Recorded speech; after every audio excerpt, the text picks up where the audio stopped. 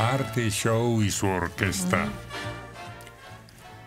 Es el tema que usaron durante mucho tiempo unos colegas que llamaban a su programa Hablando Claro. Jacobo Moret, un encanto de amigo, y don Fernando Marcos, una fiera como enemigo. Sí, porque como amigo debe haber sido muy valioso. No, pues es una calificación muy superficial. Memoria sorprendente. No sé si será superior a la de Mario Méndez. ¿Nunca te calaste con Jacobo Moret? Bueno, éramos muy amigos, como muy íbamos a comer con Garmabella. No, no, me refiero a que entre tu memoria y la de Ah. él. De memoria, no, pues. eh, cada quien tenía, conocía de distintas cosas. Entonces no había forma de. Pues él se sabía, no sé, todos los campeones de box desde, desde el, el presente hasta Jim Corbett. No, pero la aristocracia italiana, francesa, alemana era un profundo estudioso Sí. de esas características de cada cada corte y cada tiempo. No, y don Fernando Marcos, me hablaré mis respetos. Pero Fernando era como más agresivo, como más eh, duro de pelar, como guerrero. Pero Fernando no necesitaba el dato.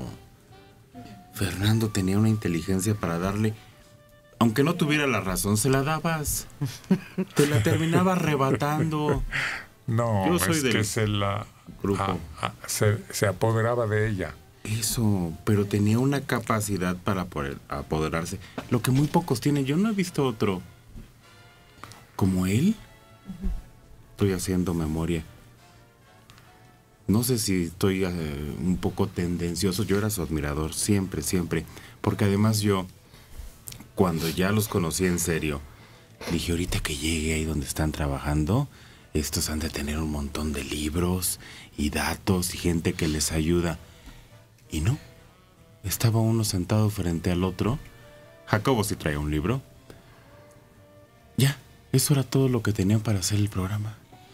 Soy testigo que don Jacobo Moret, de todos mis respetos y cariño, me acuerdo que tú le decías, que ¿te acuerdas qué sucedió en tal fecha? Y empezaba a sacar una serie de acontecimientos sorprendentes. O sea, parecía que tuviera escrito eh, los datos que le habías requerido. Increíble. Y aparte, un caballero, el hombre. Memoriosa su área eh, a- histórica.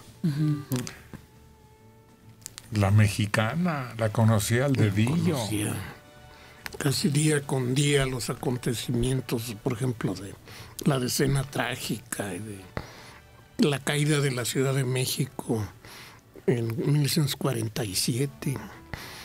Sabía, pero todo, todo. Y cuantos por la calle tal salió, quién sabe qué, y el cura fulano salió, y todo se sabía. Yo disfrutaba de su amistad y no me perdía su programa. Era un código que te llevaba por diferentes lugares y puntos de interés. No tenía desperdicio ese programa. Incluso recuerdo cuando una vez entró un desquiciado y disparó una pistola. Y otro día, Jacobo Moret se levantó tan violentamente encabritado que la silla donde estaba salió por allá volando y se salió de la cabina. Así de fuerte. Así de temperamentales. Y, y Fernando tranquilo. Una voz espléndida la de Fernando Marcos, porque fue voz de un documental periódico que se hacía Para el cine. cinematográfico. Cine verdad. Sí. Y tú ya te habías peleado con él en la familia. donde, Dime con quién no me he peleado. donde él admitía que lo hacías Versus. eso, volverse muy grande. Porque decía, ¿cómo me hace usted? Pero tiene razón. Eh, eso es, es, habla de la dignidad de un hombre, de la capacidad de entender el valor. Aquí nos acompaña alguien Gracias. con quien hemos tenido también aventura Gracias, hasta luego. radiofónica. Escuché por su radio, gracias. Y Tomás Mojarro, me decían allá afuera que salía rechinando los dientes y renegando de mí. Ahí está Leonardo, de testigo, ¿verdad? Pero pues ni modo. Y le bajaba rápido. Sí, sí. Además se entiende, ¿no? Que dentro de una charla a veces se encuentra el expositor alguien tan necio como yo. Y es bueno porque haces relucir buenos días. al, al competidor para el diletante, que es el que está escuchando el programa. En fin, un grato recuerdo. Rosa María Galindo López, de 60 años, de Venustiano Carranza.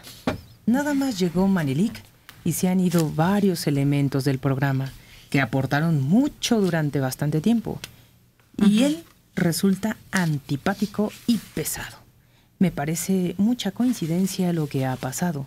Y no es justo. Él se escucha prepotente, crecido, confiado en que tiene asegurado el lugar. ¿Quién tiene asegurada la vida, por favor? Hasta hace 15 Nadie. días yo no.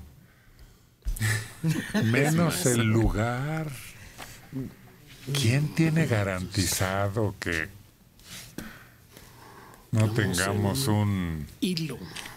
sí, guadañazo de repente? La espada de Damocles. Sobre todo en esta crisis de seguridad, Exacto. diríamos mejor de inseguridad que estamos viviendo. Que cada día está peor. Muy. Sí, sí, Gracias. sí. Déjenme ver a quién más molesta. Ya vas a empezar. Espérate a que termine.